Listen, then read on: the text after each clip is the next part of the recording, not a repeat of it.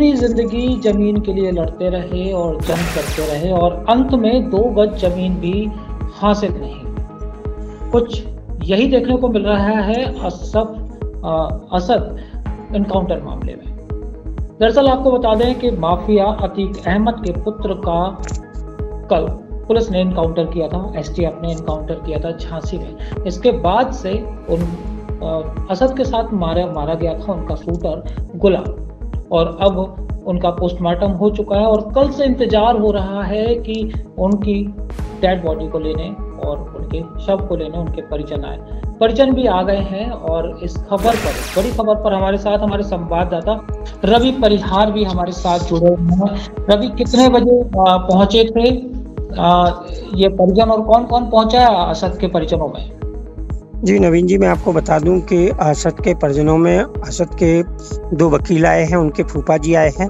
और लगभग सवा छः साढ़े छः बजे वो लोग यहाँ पर आए हैं और अभी पुलिस प्रशासन के साथ सबको लेने की फॉर्मेलिटीज़ पूरी की जा रही हैं और सबको लेने के बाद वो सीधा असद का सब लेकर प्रयागराज प्रयागराज के लिए रवाना हो जाएँगे जिस तरीके से असद के अधिवक्ता वकील ने बताया है। वहीं अगर गुलाम की बात की जाए तो गुलाम का सब लेने वाला अभी कोई भी सामने नहीं आया है और अब लगता है कि गुलाम का सब झांसी में ही दफनाया जाएगा पुलिस प्रशासन की निगरानी में। जी रवि जैसा देख रहे हैं कि कब्र खोदी जा रही है ये झांसी में। तो ये कब्र क्या आज़ाद और गुलाम के लिए पहले से प्रशासन ने तैयारी कर ली थी? जी, मैं आपको बता दूँ कि ये जो झांसी में, झांसी के जीवन शाह कब्रिस्तान में जो कब्र खोदी जा रही थी, जा रही थी, उसको लेकर बताया ये गया है कि झांसी जिला प्रशासन द्वारा पुलिस प्रशासन द्वारा ये असमंजस की स्थिति थी कि अगर असद और गुलाम के परिजनों में से कोई नहीं आता है तो उन दोनों का अंतिम संस्कार यहीं झांसी में कर दिया जाएगा। लेकिन अब असद के परिजन आ चुके हैं और अब असद के परिजन आ गए हैं और असद के सबको सुपुर्द करने करने की कार्रवाई भी करनी शुरू कर दी है। लेकिन अब सबसे बड़ी बात यह है कि गुलाम का आखिर कहाँ जाएगा? क्या पुलिस प्रशासन झांसी में ही उसका अंतिम संस्कार करेगा या फिर कोई और उसके परिवार के लोग असद, गुलाम का लेने के लिए झांसी आएँगे, सामने आएँगे? रवि जैसा कि हम इस तस्वीरों में देख रहे हैं कि असद को, असद और जो माफिया है अतीब और उनके परिजन भी पहुँचे हैं।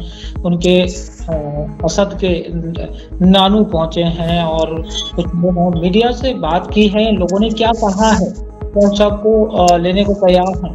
जी, मैं आपको बता दूँ कि असद के फूफा जी यहाँ पर जैसे ही अधिवक्ता के साथ में आए हैं, वहीं पत्रकारों ने उनसे इनकाउंटर के मामले में और जानकारी लेनी चाहिए तो उन्होंने पूरे मामले में चुप्पी साधते हुए, वहीं मतलब चुप्पी साध लिया और वहीं उनके अधिवक्ता से जब बातचीत की गई तो उन्होंने भी इस मामले में कुछ भी कहने से इनकार कर दिया है और अधिवक्ता से जब पूछा गया कि आप किसका सब लेने आए हैं तो उन्होंने साफ़ तौर पर कह दिया कि हम असद का सब लेने को आए हैं और पुलिस द्वारा फॉर्मेलिटीज़ पूरी की जा रही हैं, पुलिस जैसे ही अपनी फॉर्मेलिटीज़ पूरी करती है, हम उसका सब लेकर प्रयागराज के लिए रवाना हो जाएँगे। वहीं अगर गुलाम के सब के बारे में पूछा गया तो उन्होंने गुलाम के सबको लेने से इनकार कर दिया। उन्होंने कहा कि गुलाम का सब उनके ही परिजन आके लेंगे।